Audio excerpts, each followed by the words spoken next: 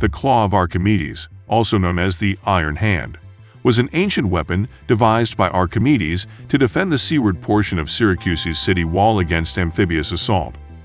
Although its exact nature is unclear, the accounts of ancient historians seem to describe it as a sort of crane equipped with a grappling hook that was able to lift attacking ships partly out of the water, then either cause the ship to capsize or suddenly drop it.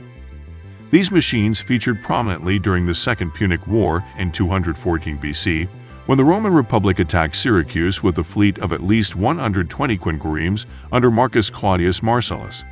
When the Roman fleet approached the city walls under cover of darkness, the machines were deployed, sinking many ships and throwing the attack into confusion.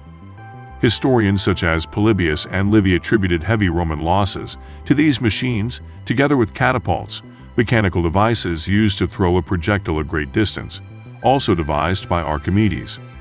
The claws were deployed and blamed for significant Roman losses, which eventually led them to having to retreat and admit defeat. Subscribe for more videos like this and turn on the notification to help the channel out. Thanks for watching.